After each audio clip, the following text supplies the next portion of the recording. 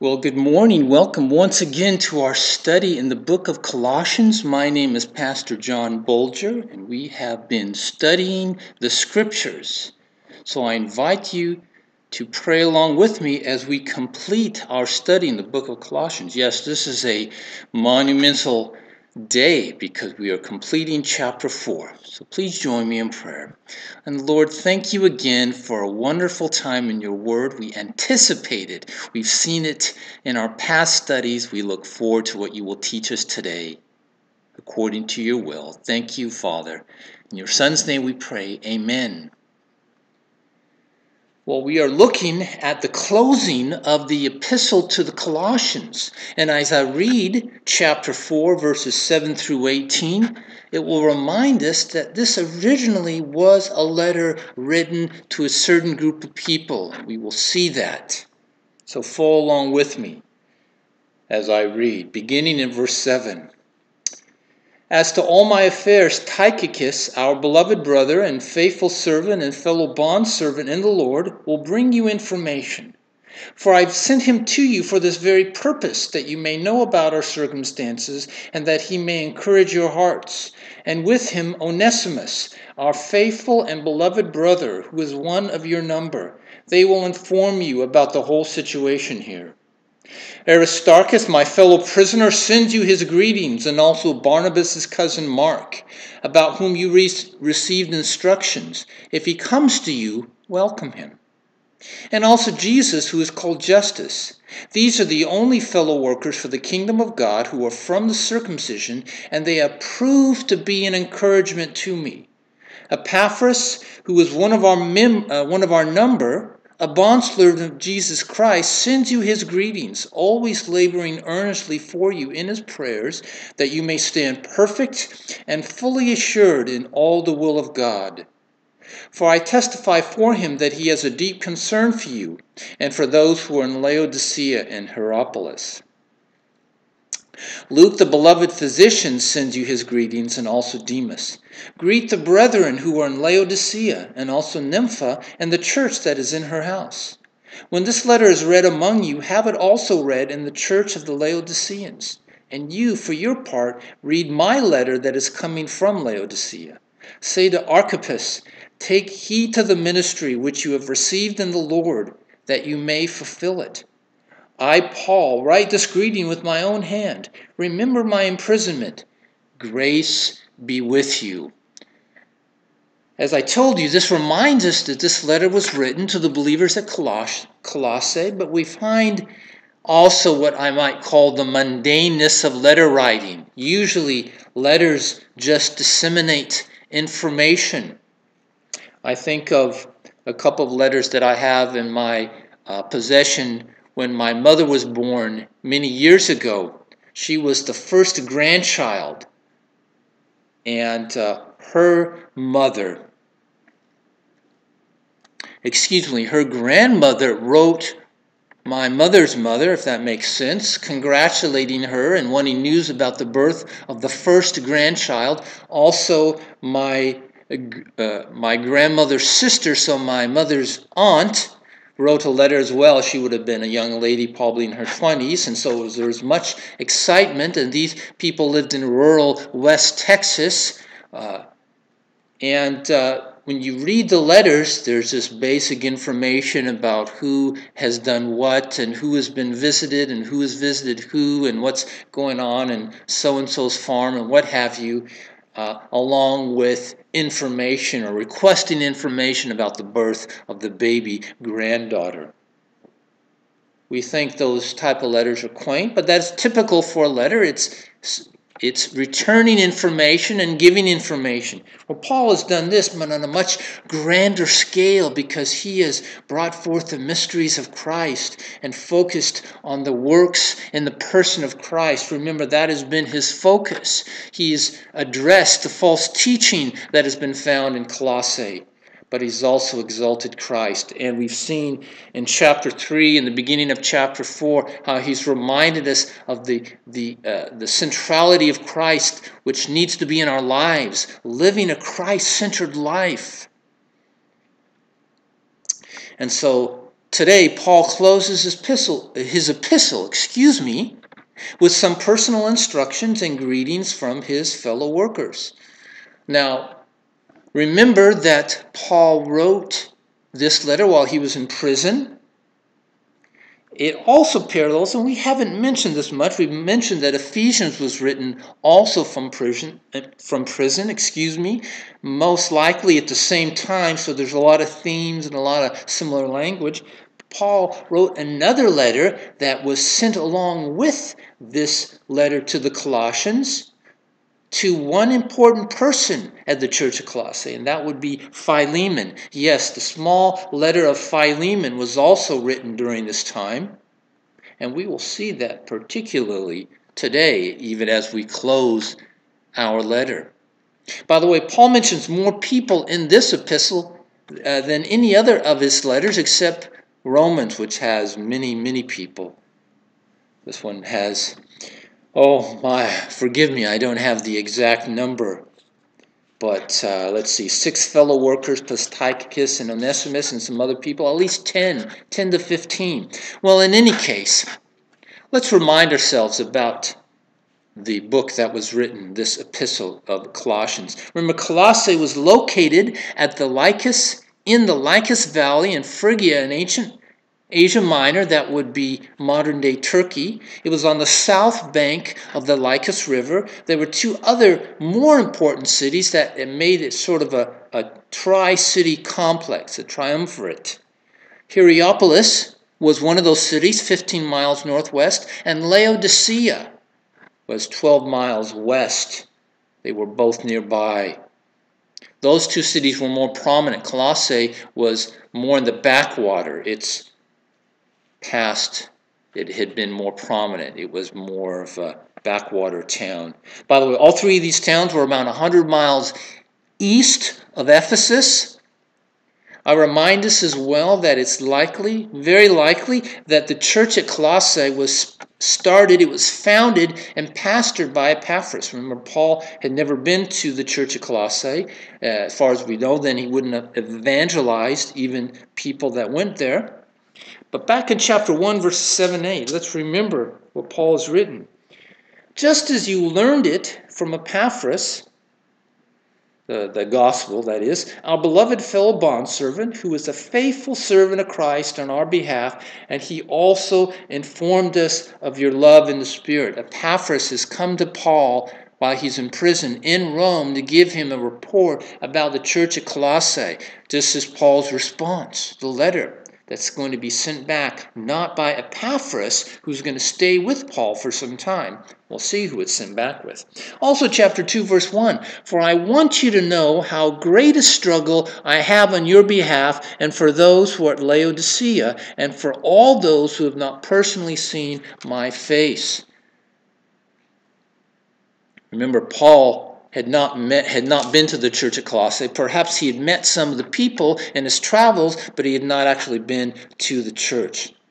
So today as we look at this the end of this book, we will see closing remarks, but also the Christ-centered relationship in Paul's life. You know, sometimes it may seem difficult to exegete a passage in an epistle like this when there's not major doctrines, there's not major duties. It's simply information about who people are, greetings given and taken, but we can still see the dynamic of the relationships that Paul had with people that he knew intimately and those that he didn't know intimately. Well, if you're taking notes, it's just our our um, our time in God's Word is going to begin. Point number one, verses 7 through 9, we're going to look at two important people, Tychicus and Onesimus. Again, back in verse 7, Paul says, As to all my affairs, Tychicus, our beloved brother and faithful servant and fellow bondservant in the Lord, will bring you information. Tychicus had been commissioned to send Paul's letter to the church of Colossae. He was the letter bearer. In those days, they didn't have postmen and mailmen. People sent letters personally if they were traveling. Sometimes that meant it took a long time before you received a letter. Now, I want you to notice uh, Tychicus's, that's sort of a mouthful to say Tychicus' prominence in the early church, turn over to Ephesians chapter 6. Beginning in verse 21, Paul says, But that you also may know about my circumstances, how I am doing, Tychicus, the beloved brother and faithful minister in the Lord, will make everything known to you. I have sent him to you for this very purpose, so that you may know about us and that he may comfort your hearts. Tychicus not only was the letter bearer for the Colossian epistle, but also for the Ephesian epistle. Now, I want to take us back even farther to see uh, Tychicus's, Tychicus's connection to Paul. Turn to Acts chapter 20, and we find ourselves during Paul's third missionary journey, and he has just left Ephesus where there was a big uproar where the idol worshippers threw Paul and his people out of the city. And then it says, verse 1 of chapter 20 After the uproar, that is in Ephesus, had ceased, Paul sent for the disciples, and when he had exhorted them and taken his leave of them, he left to go to Macedonia. That would be northern Greece. He's in western Asia Minor, now he's going to northern Greece. When he had gone through those districts and had given them much exhortation, he came to Greece. And there he spent three months, most likely in Corinth.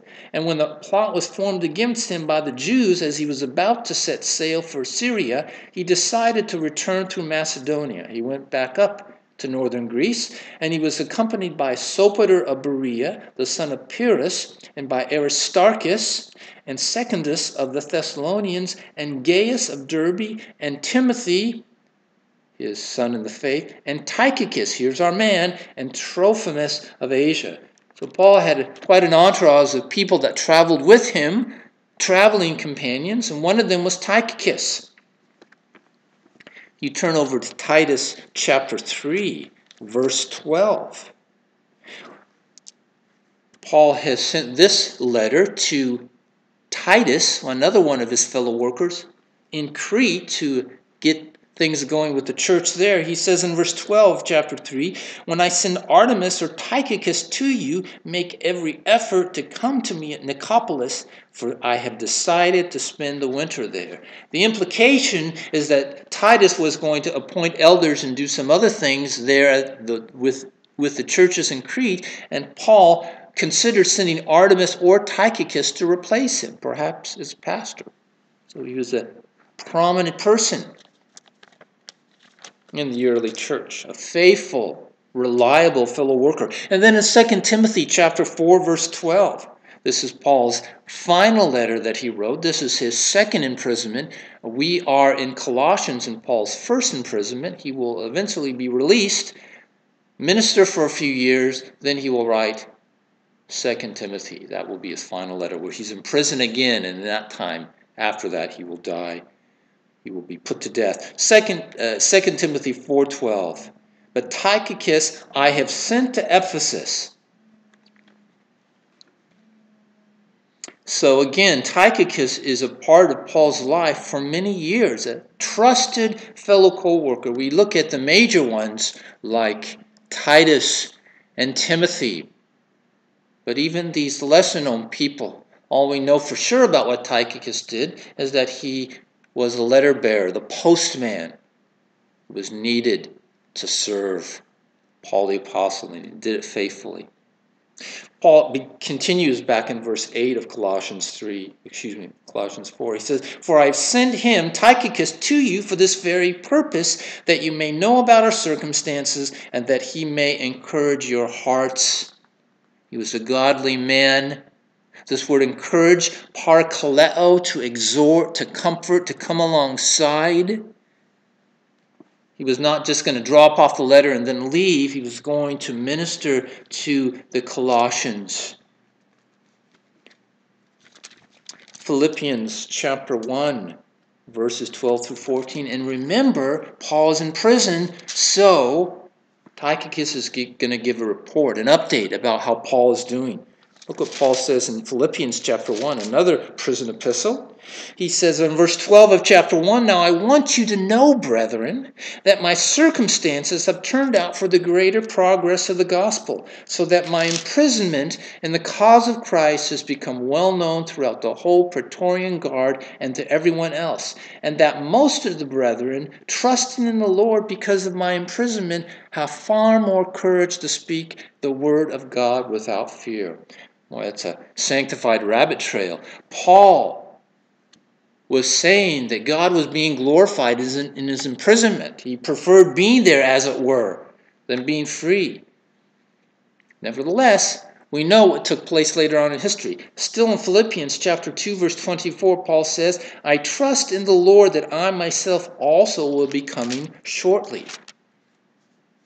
Paul seems to imply that he's not going to be imprisoned very long. And then if you go to Philemon, verse 22, he says, At the same time, also prepare me a lodging, for I hope that through your prayers I will be given to you. Paul anticipated his immediate release, and we know from history that that took place because he went on to write other books. But Tychicus was not the only person that went to went to deliver Paul's letter to the Colossians. Verse 9. He says, And with Tychicus, Onesimus. And look how he describes him, because he uses the same language or similar language that he does for Tychicus, our faithful and beloved brother who is one of your number. That is, he's a fellow Colossian. They will inform you about the whole situation here. And we're going to get into this, Lord willing, when we have a brief study in the book of Colossians, uh, excuse me, Philemon. Philemon had been a slave, unconverted, a slave of, of excuse me, Onesimus. Let me get my people straight. Onesimus was a slave of Philemon. Philemon was his master. Philemon was a believer. Onesimus wasn't. Onesimus escaped, ran all the way to Rome. Perhaps he thought he could hide in a large city. He sovereignly, uh, providentially, God put him in contact with Paul where he was converted. He became an assistant, helped minister to Paul while he was in prison. Now Paul is sending him back, and that is why Onesimus is going with Tychicus. Let me give you what he says in Philemon, beginning in verse 10. I appeal to you for my child Onesimus, whom I have begotten in my imprisonment, who formerly was useless to you, but now is useful both to you and to me. Onesimus' name means useful. I have sent him back to you in person, that is, sending my very heart, whom I have wished to keep with me, so that on your behalf he might minister to me in my imprisonment for the gospel. But without your consent, I did not want to do anything so that your goodness would not be in effect by compulsion, but of your own free will. For perhaps he was for this reason separated from you for a while, that you would have him back forever, no longer as a slave, but more than a slave, a beloved brother, especially to me, but how much more to you, both in the flesh and in the Lord. Paul is telling uh, uh, Philemon, because there needs to be some reconciliation here, you need to be willing, Philemon, to forgive Onesimus, who indeed ran away from you. He sinned against you. But those circumstances allowed him to become converted, to become saved, and now he's returning to you, not just as a slave, but as a brother in Christ. This is a win win situation. Colossians 3:11. Remember what Paul said about believers. the renewal, the regeneration in our conversion in our becoming Christians is that which in which there is no distinction between Greek and Jew, circumcised and uncircumcised, barbarian, Scythian, slave and freeman, but Christ is all and in all. You are being returned, Paul says to Philemon, a beloved brother in Christ is coming to you. And so there was anticipation, although I'm sure Onesimus had a few butterflies in his stomach. How would Philemon respond? Would he indeed be forgiving or would he be angry? And that's why Paul wrote this personal letter to Philemon to sort of soften the reconciliation, to help smooth it along.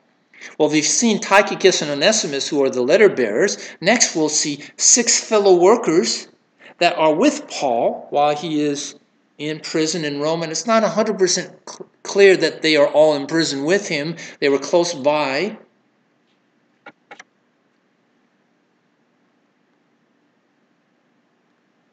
Paul was in some sort of a house arrest, so he had some freedom, according to Acts 28. He did have a Roman guard chained to him, but he had some freedom as far as visitors and that sort of thing. So the six fellow workers, we've already read it earlier, and I'll come back to it, but I want to read Philemon verses 23 and 24, which is the end of this little letter, because you're going to notice some of the same names. Epaphras, he says, my fellow prisoner in Christ Jesus greets you, as do Mark, Aristarchus, Demas, Luke, my fellow workers. In fact, five of the six people mentioned in Colossians 4 are also mentioned in those two verses in Philemon. That also gives us proof that they were written at the same time and sent together. Paul begins the first of the six, verse 10 Aristarchus, my fellow prisoner, sends you his greeting. Now, you might say, well, obviously he's telling us that Aristarchus is in prison. Perhaps it is, although sometimes Paul seems to use that designation, my fellow prisoner, when the person may not actually be incarcerated with him. Perhaps a prisoner of Christ, enslaved, chained to Christ. But in any case, Aristarchus is with him. We find him also in the book of Acts, traveling with Paul. Remember, I read Acts 19. Oh, excuse me, I read Acts 20, but in Acts 19, verse 29, when they were in Ephesus, remember I told you the uproar that Paul caused when he preached the gospel upset the idol worshippers. It says the city was filled with confusion, and they rushed with one accord into the theater, dragging along Gaius and Aristarchus, Paul's traveling companions from Macedonia. They were northern Grecians, Macedonians. I already read chapter 20, verse 4. After they left the uproar in Ephesus, that was uh, Aristarchus was one of the people with him. Now, in chapter 27 of Acts, verse 2, it says, And embarking in an Adramyttian ship, which was about to sail to the regions along the coast of Asia, we put out to sea, accompanied by Aristarchus, a Macedonian of Thessalonica. Aristarchus was with Paul when he traveled to Rome sometimes called the fourth missionary journey. It wasn't really a missionary journey, so to speak, but Paul went to Rome, and so Aristarchus, again, is one of those lesser lights, but yet an important minister to Paul as he traveled around. We don't know much about him beyond what the text tells us. Of course, he was from Macedonia, and that text in, in Acts 27 says he was from Thessalonica. Secondly, Paul mentions also Barnabas' cousin Mark, about whom you received instructions. If he comes to you, welcome him. Well, this is the famous John Mark that is mentioned a number of times in the book of Acts. If you'll turn to Acts chapter 12, before Paul becomes prominent, beginning right after he was converted. So Peter is still a prominent figure in the book of Acts. Peter had been in prison for the gospel, and there was a group of believers praying for him. And in Acts 12 12, it says, When he realized this, he went to the house of Mary, the mother of John, who was also called Mark, where many were gathered together and were praying. There was a group of believers in John Mark's mother's house. Her name was Mary. Perhaps there was a church that met at her house. And then in chapter, uh, verse 25 of that same chapter, Barnabas and Saul returned from Jerusalem when they had fulfilled their mission, taking along with them John, who was also called Mark. You might notice there that in our text it tells us that Barnabas was Mark's cousin. So it makes sense that Barnabas would have maybe encouraged Paul to let us take Mark along on their what turned out to be their first missionary journey. Now go over to chapter 13, verse 5, and we're in the first missionary journey. It says, When they reached Salamis, they began to proclaim the word of God in the synagogue of the Jews, and they also had John, that is Mark John, as their helper. Then in verse 13, now Paul and his companions put out to sea from Paphos and came to Perga and Pamphylia, but John left them and returned to Jerusalem. He actually deserted Paul and Barnabas and returned to Jerusalem. For whatever reason, maybe the ministry was too much for him, maybe he had a bad experience, maybe he had a fallout, a falling out with someone. Could have been Paul, most likely Paul. For whatever reason, he deserted the ship and went back to Jerusalem. Then we come to chapter 15 of Acts, which is the second missionary journey. And verse 36 says, After some days, Paul said to Barnabas, Let us return and visit the brethren in every city in which we proclaim the word of the Lord and see how they are. Barnabas wanted to take John, called Mark, along with him also. Remember, they're, they're blood, they're cousins. But Paul kept insisting that they should not take him along who had deserted, deserted them in Pamphylia and did not and had not gone with them to the work. And there occurred such a sharp disagreement that they separated from one another, and Barnabas took Mark with him and sailed away to Cyprus. But Paul chose Silas and left, being committed by the, the brethren to the grace of the Lord, and he was traveling through Syria and Cilicia, strengthening the churches. There was a rift between those workers. Barnabas took Mark, Paul took Silas. Nevertheless, when you come later, many years later, I think the figure is at least 10 years later, a reconciliation has taken place because now we find ourselves in 2 Timothy. This is at the end of Paul's life. Well, I already noted how Paul commends excuse me, Mark, he says, if he comes to you, welcome him. So they were on good terms, obviously. 2 Timothy 4.11, Paul says, only Luke is with me. Pick up Mark and bring him with you. Listen to this, for he is useful to me for service. Reconciliation had taken place. Mark was once again serving the body of Christ by ministering to Paul. Also, notice, of course, he's listed in the group of people in Philemon, that, of course, parallels Colossians. And then in 1 Peter chapter 5, Peter, one of the Lord's apostles, says in verse 13, he says, She who is in Babylon, most likely a cryptic reference to Rome, chosen together with you, sends you greetings. That's most likely the church in Rome sends you greeting, and so does my son Mark. Mark had a close discipleship relationship with Peter. Peter discipled Mark. And if you're familiar with your authors of the New Testament, Mark, the Gospel of Mark was written by this very same man, John the Mark. John the Mark. John Mark. So he was a, another prominent person in the New Testament church. Had some troubles at one point with Paul, but reconciled with him and continued on to minister faithfully to the point that he was a writer of one of the Gospels. Next, number three, verse 11, it says, Also Jesus, who is called Justus. This word named Jesus was common in the New Testament.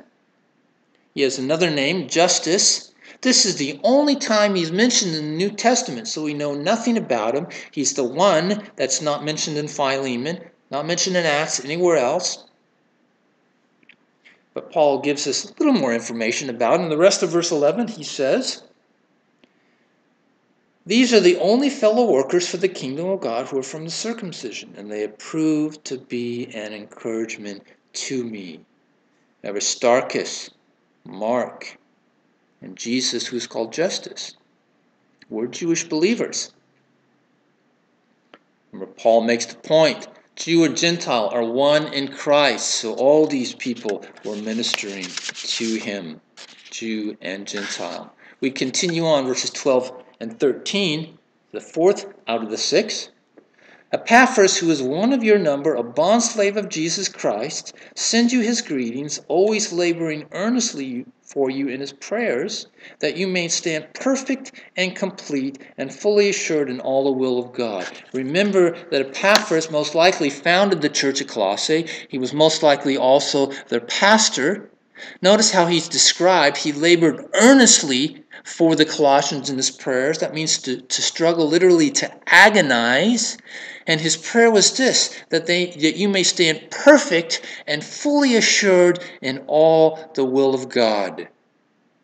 In other words, Epaphras was praying an appropriate prayer that a pastor would pray for his flock, that they would be mature spiritually, that they would be mature believers. Paul continues, For I testify to him that he has a deep concern for you and for those who are in Laodicea and Hierapolis. Epaphras ministered not only the church of Colossae, perhaps he was an itinerant pastor. He had flocks in Hierapolis and Laodicea, or perhaps he just knew believers there, but he had an influence in that whole area. Now go back to chapter 1, verses 7 and 8, which I've already read, but I'll read it again. Just as you learned it from Epaphras, our beloved fellow bondservant, who is a faithful servant of Christ on our behalf, and he also informed us of your love and the Spirit. This godly man came to Paul in Rome while he's in prison to minister to him, to inform him about the church in Colossae. And Paul notes his great concern to the believers there. Now, look down Uh, verse 28 of chapter 1 of Colossians. This is Paul's concern. This is Paul's prayer for the Colossians. He says, We proclaim him, admonishing every man and teaching every man with all wisdom, so that we may present every man complete in Christ. For this purpose also I labor, striving according to his power, which mightily works within me.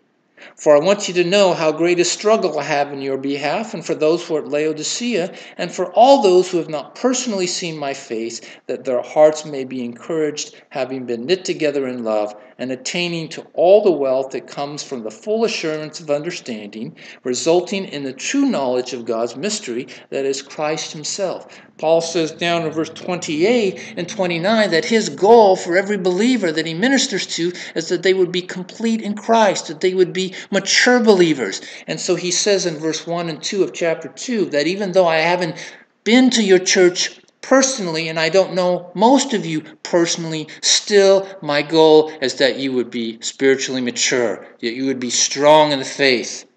And guess what? That was Epaphras' prayer too. So Epaphras and Paul are on the same page. Every pastor who is worth his salt must pray regularly and faithfully for his flock that they would grow spiritually. If you're a pastor and you're listening to this message, that should be your goal to see your flock complete in Christ. Now, Philemon, verse 23, I'm just mentioning this because uh, he is mentioned prominently in Philemon. It says, Epaphras, my fellow prisoner in Christ Jesus, greets you. And again, this is why I mentioned it's not clear that Epaphras was actually in prison with Paul, but he's called a fellow prisoner, maybe because of his close connection to Paul.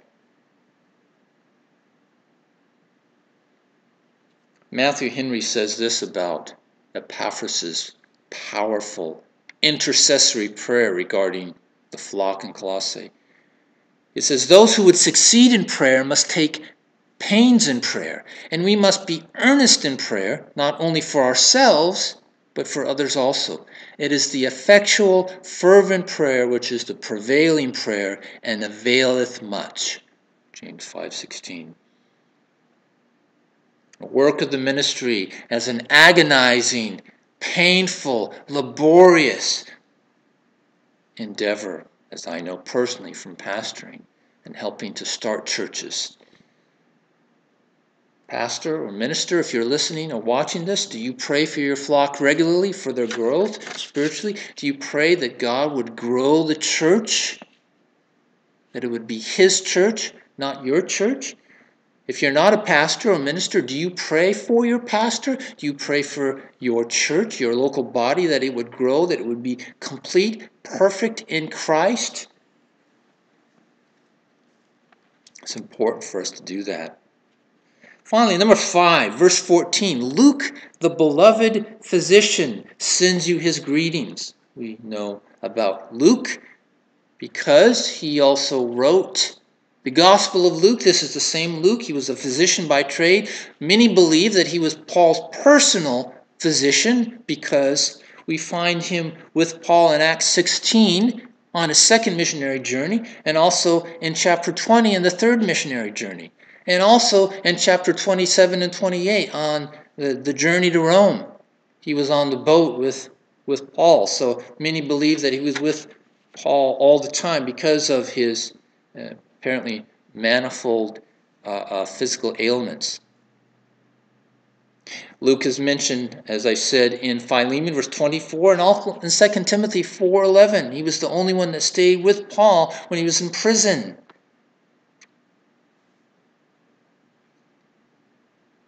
And then finally, number six, Demas. Demas is mentioned. Nothing is said about him except that he greets, sends his greetings. He's also mentioned in Philemon. But sadly, there's a sad subscript, a postscript to Demas. When we come to 2 Timothy, Paul's second imprisonment, I'll just read all these verses because you'll get the context. Paul says, Make every effort to come to me soon, for Demas, having loved this present world, has deserted me and gone to Thessalonica. Crescens has gone to Galatia, Titus, Dalmatia. Only Luke is with me, the beginning of verse 11. Paul was in prison. Paul knew that his time on this earth was short. He sent some of his fellow workers to other places, but it says Demas left him, departed. What a sad, sad story. But at this time, he is a fellow worker while he, Paul is in the, uh, the prison in Rome for his first imprisonment. But one thing, I don't know if you noticed this, so in Paul's company is Mark, John Mark, and also Luke. And one writer makes the note that in this Roman confinement, then, there was united the authors of 155 out of the 260 chapters of the New Testament, or about 60% of the total. Isn't that amazing? Paul, John Mark, and Luke were all together in Rome while Paul was in prison. And then finally, verses 15 through 18, we find some closing instructions. Paul says, verse 15, Greet the brethren who were in Laodicea, and also Nympha and the church that is in her house. Apparently, there was a close connection, particularly to the believers in Laodicea. Perhaps many of them were part of the house church in Colossae. Maybe there wasn't a church in Laodicea. We don't know. But actually, that may be incorrect because it's very likely that Nympha had, uh, there was a church, and this is a lady, so a church met in her house chapter 2, verse 1. Remember again, for I want you to know how great a struggle I have in your behalf, and for those who are at Laodicea, and for all those who have not personally seen my face. There's a close connection between Colossae and Laodicea.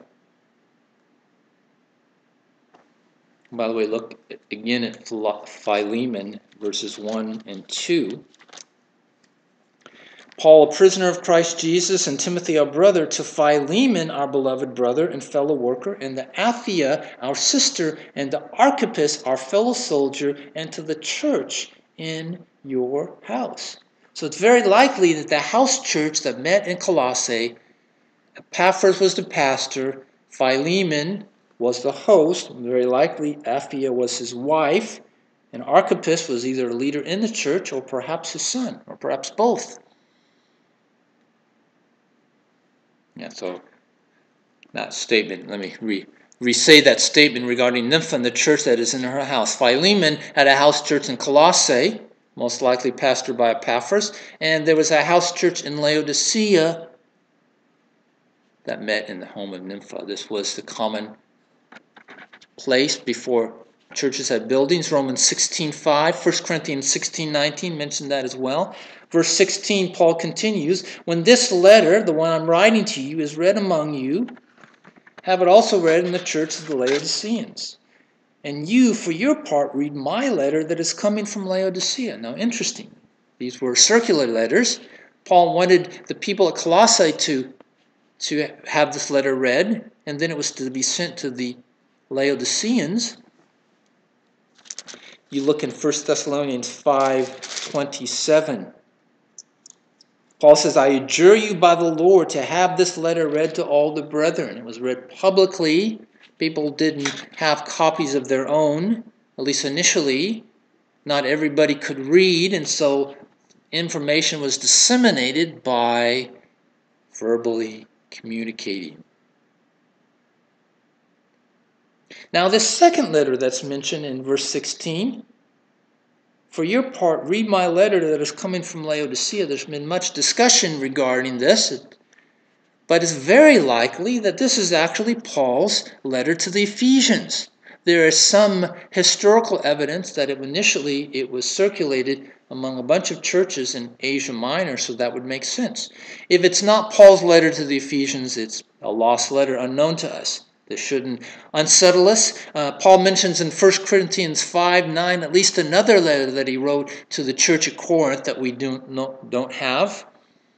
Paul, not every letter that Paul wrote was inspired scripture, and no doubt he wrote many letters, perhaps hundreds, to individuals and people in churches. And then in verse 17, another interesting little comment. He says, Say to Archippus, Take heed to the ministry which you have received in the Lord, that you may fulfill it. Now remember, Archippus is mentioned in Philemon verse 2. He was either Philemon's son, because of the way he is mentioned right after Philemon and Apphia, or he would have been a prominent leader or an up and coming leader in the church. He is also mentioned in 2 Timothy uh, chapter 4, verse 5 Oh no, excuse me. I'm wrong. Let me read 2 Timothy 4, verse 5. Paul says to Timothy, But you be sober in all things, endure hardship, do the work of an evangelist, fulfill your ministry. Paul is encouraging Timothy to be consistent and faithful in your ministry. He had a lot of work to do. He was young. He might not have been respected by all the people in the church. So apparently, Archippus, we don't know the details of this, but it sounds like Archippus is entering the ministry or is already in the ministry and needs to be encouraged. Paul's saying, if you've been called, take heed to the ministry which you have received in the Lord. If the Lord has given you the call to the ministry, the talents and the affirmation and the desire, fulfill that ministry.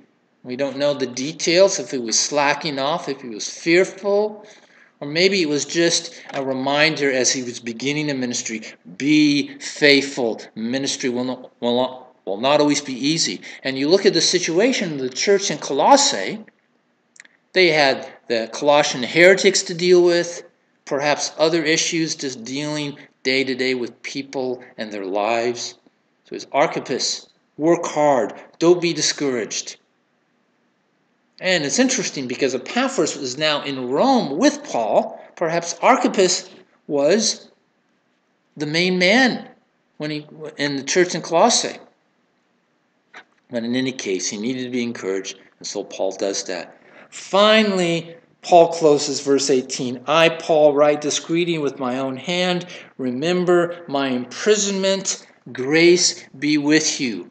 Paul was noted for having an amanuensis, someone who he would dictate his letter to, but then at the very end of his letter, he would, he would uh, write a greeting to show people that he had indeed penned this letter. 1 Corinthians 16 21. This greeting is in my own hand, Paul. 2 Thessalonians 3:17. I Paul write this letter with my own hand and this is a distinguishing mark in every letter. This is the way I write. Philemon verse 19. Paul says, I, Paul, am writing this letter with my own hand. I will repay it. He's talking about the debt that Onesimus owed Philemon. Perhaps Paul wrote all of Philemon himself. It was just a short letter. Galatians 6.11, Paul very forcefully says, See with what letter, large letters I write. In other words, the Galatians might have, for some reason, suspected that Paul hadn't written the letter in case because he's so uh, the, the tone is so strong and rebuking. Paul says, No, yes, it was me, and I've written. You need to get things settled, straightened out, and stop being influenced by the Judaizers.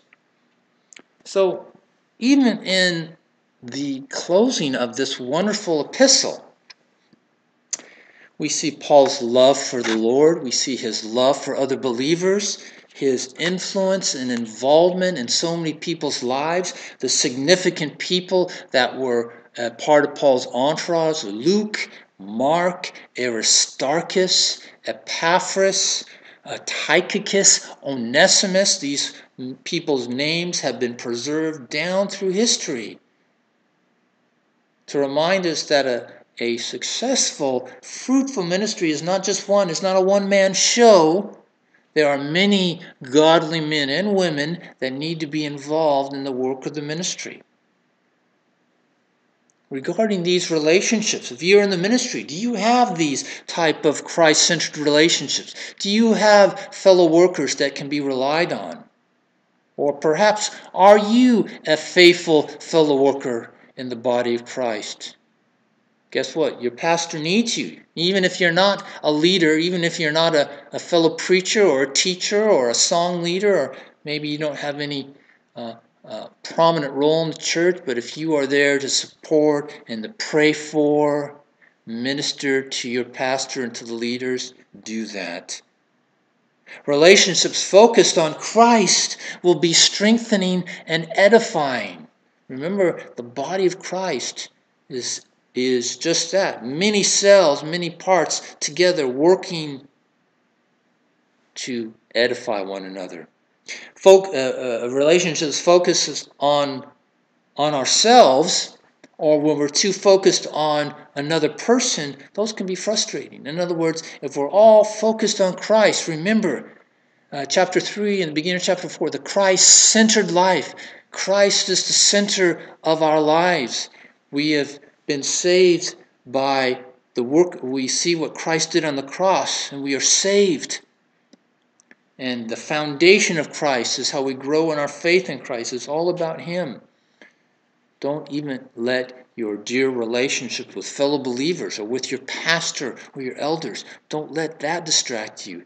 They also seek to follow Christ. You follow Christ along with them in their manner. Friends, sometimes words don't come well to me. I describe things imperfectly, but let us remember our focus must be on Christ, as Paul has told us in this marvelous letter.